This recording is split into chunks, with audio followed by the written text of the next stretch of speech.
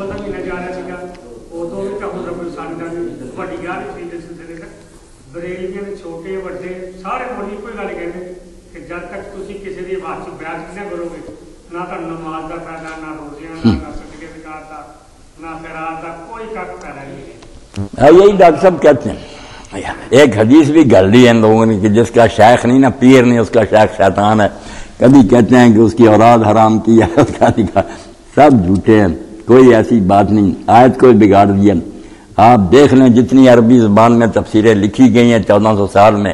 عربی سے عربی سب کہیں گے کہ یہ وسیلہ کیا ہے؟ کر رب الحبتال کہ نیکیاں کر کے اللہ تعالیٰ کا قرب تلاش کرو، قریب ہونے کی کوشش کرو۔ بیت جو تھی اسلام میں، وہ بھی سب جانتے ہیں کہ یا رسول اللہ کی ہوتی تھی، لوگ اسلام لاتے تھے، جہاد کے لیے کرتے تھے، یا خلیفۃ المسلمین کی ہوتی۔ خلیفے کے ہوتے، دوسرا اگر بیت لے بغاوت سمجھی جاتی تھی۔ کون ہے جس نے یہ الگ بیت لے لی؟ حاکم وقت کی بیت ہوتی۔ وہی جس کو آج ہم حلف وفاداری کہتے ہیں کہ جب وہ خلیفہ بنتا تھا، وہ حلف اٹھاتا تھا کہ میں تم پر کتاب اللہ اور سنت رسول اللہ کے مطابق حکومت کروں گا۔ قوم کے نمائندے اس کے سامنے حلف اٹھاتے تھے کہ آپ جب تک رائے راست پر رہیں گے، ہم آپ کی اطاعت کریں گے، آپ کا حکم مانیں گے۔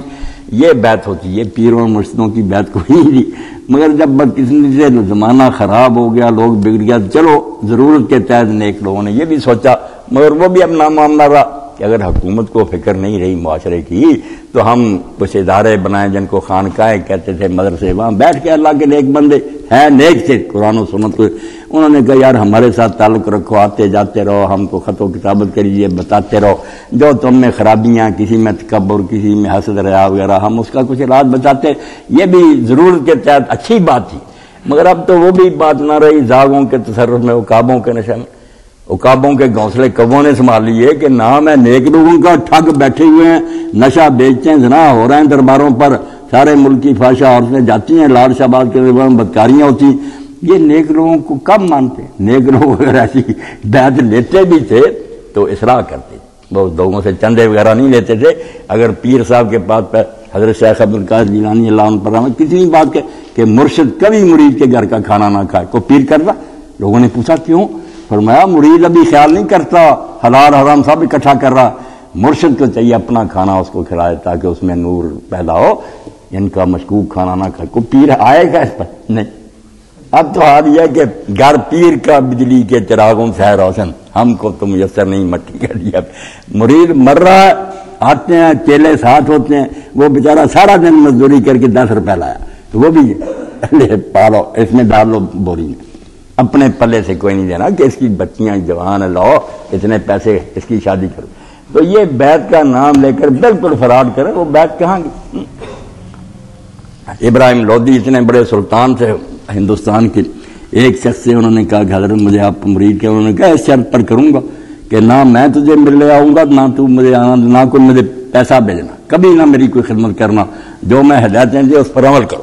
پھر بھی کوئی بات چیت بیت کی۔ اب کیا بیت کے نام پر فراڈ ساری عمر مرید حرام کر رہی ہیں کرتا رہے بس میں فلاں سلسلے سے منسلک ہوں فلاں کو مار رہا ہوں؟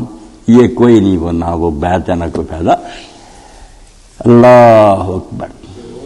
یہ ہے کہ جیسے ہمیں دین پہنچا ہے وہ اولیاء اللہ اور نیک بزرگوں ہستیوں کے ذریعے گزرا ہے۔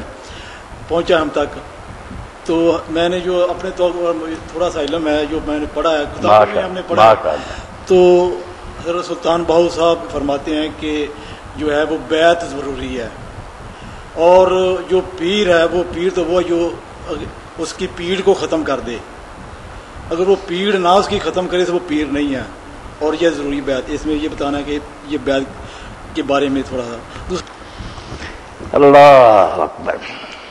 پہلا تو بھائی صاحب کا سوال ہے نا بیت دے بارے کہ دین اور یہ اللہ نے سر تک پہنچایا بیت لیں دے رہے تے پیر ہے تو وہی پیڑ کٹتا یہ دھیان دیا دے دین سے میرے بھائی جس بیت کا ذکر نا وہ یا اللہ دے رسول دے ہاتھ لوگ کرتے سی جدو اسلام دے آتے کہ ابھی اسلام دے حکم کی پابندی کریں یا جہاد کا مرلہ آتا سی تو اسے نئے سرے تو نہ جی تجید عید ہوں کہ جان دین کا موقع حلف اٹھاؤ ثابت قدم رہو گے لے دو اور آپ تو بعد پھر خلیفہ لینا سر حضرت امام حسین کو جیت منگ رہا سی یزید، وہ کو پیری مریدی تھوڑوں سی۔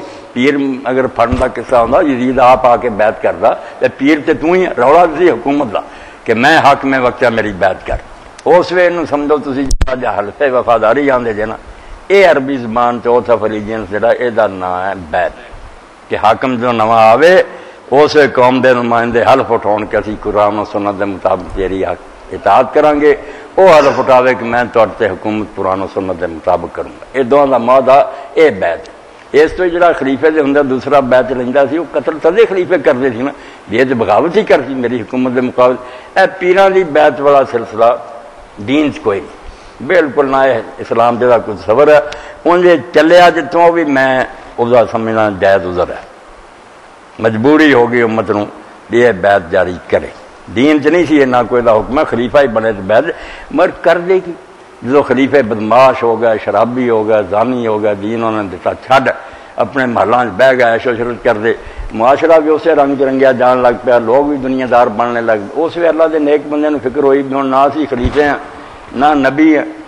پبلک جڑی گمراہ ہوندی جاندی نا حکمرانوں دا رنگ ویک کے انہوں نے کس طرح بچایا جائے؟ انہوں نے پھر چھوٹے چھوٹے ہسپتال جنہوں خان کہا کہہ لو نا ਇਹ ਤਰਬੀਅਤੀ ਇਦਾਰੇ ਬਣਾ ਲਏ ਕਿ ਜਿੰਨੇ ਕੁ ਮੰਨ ਸਕਦੇ ਸੀ ਉਹਨਾਂ ਨੂੰ ਆਖਿਆ ਯਾਰ ਮੇਰੇ ਕੋ ਆਇਆ ਕਰੋ ਮੇਰੇ ਕੋ دین ਸਿੱਖਿਆ ਕਰੋ ਆਪਣੇ ਨਾਲ ਜੋੜਿਆ ਉਹਨਾਂ ਨੇ ਬੰਦਿਆਂ ਔਰ ਇਸ ਮਲੂਕੀ ਇਧਰ ਬਾਦਸ਼ਾਹ ਦੇ ਜ਼ਮਾਨੇ 'ਚ ਹੋਰ ਕਰ ਵੀ ਵਿਚਾਰੇ ਕੀ ਸਕਦੇ ਹਕੂਮਤ ਨਾਲ ਟੱਕਰ ਦਾ ਨਤੀਜਾ ਵੇਖ ਲਿਆ ਵੀ ਇੱਥੇ ਨਵਾਸਾ ਰਸੂਲ ਦਾ ਸਿਰ ਕੱਟਿਆ ਗਿਆ ਸੀ ਕੌਣ ਉਹਨਾਂ ਵਿਚਾਰਿਆਂ ਨੇ ਲੋਕਾਂ ਦਾ دین ਈਮਾਨ ਬਚਾਉਣ ਲਈ ਫਿਰ ਕੋਸ਼ਿਸ਼ਾਂ ਕੀਤੀ ਇਹ ਨੇਕ ਕੰਮ ਸੀ।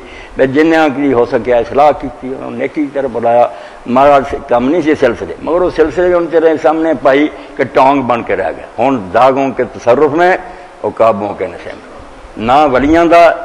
ਹਰ ਜਗ੍ਹਾ ਠੱਗੀ।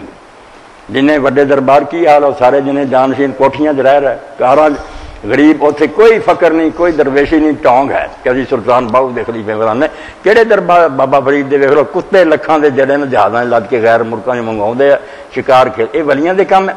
ਉਹ ਇਦਾਰਾ ਨਾ ਉਹ ਹੀ ਹੈ ਗੱਲ ਕੋਈ ਨਹੀਂ ਰਹੀ।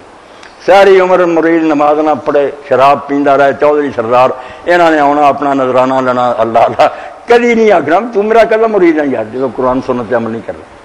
ਤੋ ਵੀ ਇਦਾਰਾ ਜਿਹੜਾ ਖਰਾਬ ਹੋ ਕੇ ਰਹਿ ਗਿਆ। چلیا ٹھیک سی۔ کہ اس زمانے مجبوری کے طور پہ سی چھوٹی چھوٹی جماعتاں جی ہوں تنظیماں کہہ لینی سی تحریک یہ ہوئی سی بالکل کہ مرشداں نے مرشد کا مطلب رہنمائی کرن کچھ لوگوں نے اپنے نام جوڑیا انہوں دی سلاح کی کوشش کی تھی. مولانا، ہمیں جو سوال موصول ہوئے ہیں، ان میں سے ایک یہ ہے۔ ایک صاحب پوچھتے ہیں کہ اگر کوئی شخص کسی پیر کی بیعت کرے اور بعد میں اس پیر صاحب اکثر باتیں دیکھ کر اس پیر صاحب نے اس بیعت کو رد کر دے، تو اس کے بارے میں آپ کیا کہیں گے؟ سنا ہے کہ جو مرشد کو ناراض کرتا ہے وہ دنیا بھی برباد کرتا ہے۔ آخرت میں اللہ بھی اس سے راضی نہ ہوگا، وضاحت کر دیں۔ کیونکہ میں نے کافی غلط باتیں ایک صاحب میں دیکھی پھر ان کے پاس جانا چھوڑ دیا اور اس کام سے توبہ بھی کر لی۔ لیکن مجھے ان کے بڑوں نے یہ کہا ہے کہ گہری اور پہنچی ہوئی باتیں ہیں، آپ ان کو نہیں سمجھ سکتے۔ برائے کرم اس معاملے میں میری رہنمائی فرمائیں۔ اللہ تعالیٰ نے آپ کو بالکل صحیح توفیق دی۔ آپ نے بہت اچھا کیا کہ جب ان میں غلط باتیں دیکھی۔ تو کوئی ایسا مرشد نہیں، نہ کوئی پیر ہے جس کے ساتھ آدمی چمٹا رہے۔ اللہ کو ناراض کرے، رسول کو ناراض کرے اور ان پیروں کو خوش کرتا رہے۔ پیر تو آپ جانتے لفظی فارسی کا۔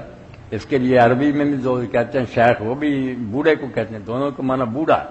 یہ کوئی نیک اور اچھے کا یہ لفظ پیر بھی بوڑھا، شیخ بھی بوڑھا۔ بوڑھے کا کیا بوڑھا؟ کافر بھی ہو سکتا ہے برا بھی ہو سکتا۔ مرشد جو ہے عربی زبان کا لفظ ہے، مگر مرشد اس کے لیے کہ کوئی رہبر اور پیشوا کوئی نہیں آتا۔ اللہ نے کو کہا کہ اللہ ولی مرشد ہے، وہ تمہارا ولی ہے، وہی مرشد ہے، سیدھا راستہ بنانے والا۔ تو کوئی مرشد وغیرہ نہیں، جو ایسے مرشد پکڑ لے بیت کر بیٹھے، غلطی سے بعد میں پتا چلے کہ یہ تو گمراہ آدمی دین سے ہٹا ہوا فوراً اس بیت کو توڑے۔ اس سے نقصان کیا ہونا بلکہ اللہ خوش ہوگا، اللہ کے رسول خوش ہوگا اگر نہیں توڑے گا، پھر مجرم ہوگا۔